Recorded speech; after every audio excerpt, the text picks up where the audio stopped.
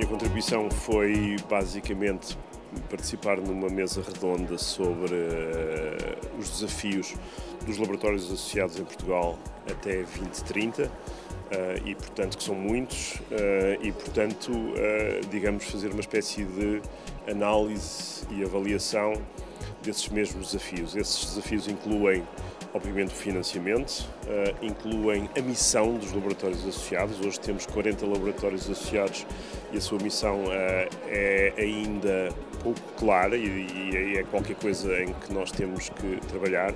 Naturalmente, as carreiras científicas. As carreiras científicas são, são absolutamente fundamentais. Há um problema em Portugal relativo às carreiras científicas que faz com que nós estejamos sistematicamente a perder os nossos melhores, ou seja, a ser incapazes de reter ou de atrair talento uh, para, para a investigação e isso é qualquer coisa que temos que corrigir se quisermos uh, continuar o caminho de crescimento e da relevância da ciência portuguesa.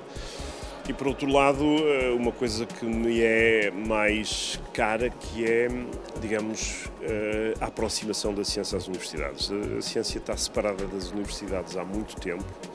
Eh, foi um caminho que foi feito e que era necessário ter feito, eu acho, para, para a construção de um edifício sólido de ciência e tecnologia. mas passaram 25 anos e o mundo mudou. E, portanto, eu hoje acho que a ciência deve aproximar-se ou ser novamente devolvida às universidades e que as universidades devem distinguir-se pela investigação que fazem.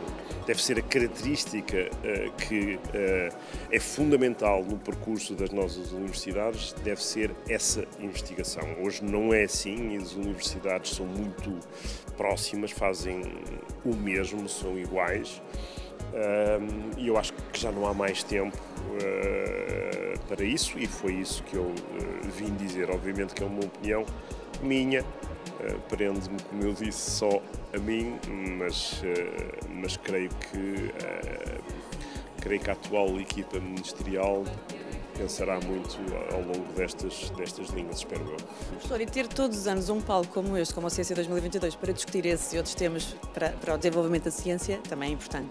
É, exatamente, é muito importante, muito importante esta realização. Eu, eu participo neste encontro, neste formato, desde 2010. Começou por ser organizado na Fundação Carlos Gulbenkian e depois passou uh, para aqui mas essa foi também a minha última nota e a minha última nota foi é muito importante, mas também é muito importante que saia de Lisboa.